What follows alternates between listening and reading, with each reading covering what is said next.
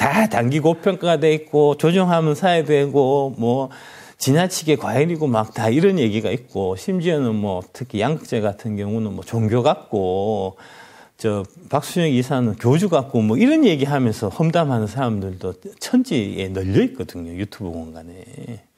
그러니까 그런 얘기 할 때 빨리 사시는 게 좋습니다.